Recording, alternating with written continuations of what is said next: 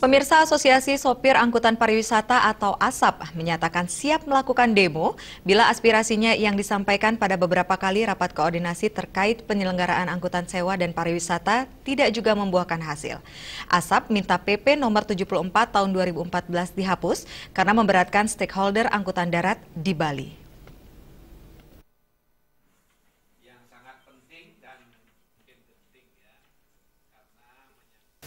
Ketua Asosiasi Sopir Angkutan Pariwisata Asap Bali Wayan Suwarta memaparkan PP nomor 74 tahun 2014 mewajibkan perusahaan angkutan umum untuk berbadan hukum di mana di Bali sebagian besar masih berbentuk CV.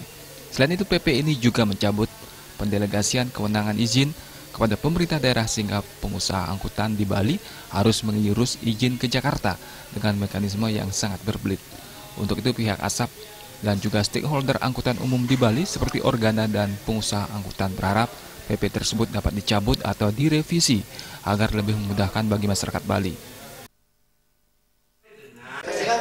Provinsi Bali harus memberikan ketegasan bahwa rakyat Bali ingin bekerja secara legal sehingga pengurusan izin pun harus dilakukan di Bali bukan harus ke Jakarta. Ada balai sebagai perwakilan di, dari pusat. Seolah-olah pusat tidak memberikan kepercayaan kepada balai di sini. Yang mana pengurusan izin bisa di, dilakukan di Bali. Kenapa harus ke Jakarta? Ini sangat disayangkan sekali. Berapa biaya ke Jakarta? Sangat disayangkan Sementara itu, Kadis Perhubungan Provinsi Bali Ketut Artika menyatakan pihaknya akan berupaya menjembatani aspirasi stakeholder angkutan umum dan pariwisata di Bali kepada pihak kementerian. Memang peraturannya belum belum ada ya petunjuk teknisnya ya terkait dengan penyelenggaraan perizinan di daerah ya ini yang kita diskusikan kita datangkan ya yang yang betul-betul mempunyai keundangan untuk mengeluarkan izin. Nah ini sudah dijawab bahwa revisi KM 35 yang mengatur tentang penyelenggaraan izin sewa khusus nanti ya ini sudah sudah barangkali akan segera terbit gitu ya. Itu yang kita pedomani nanti. Itu yang kita pedomani nanti.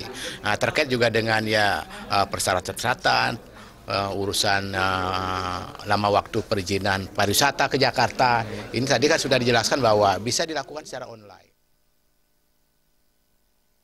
Purnama dan Agus Sudiatmiko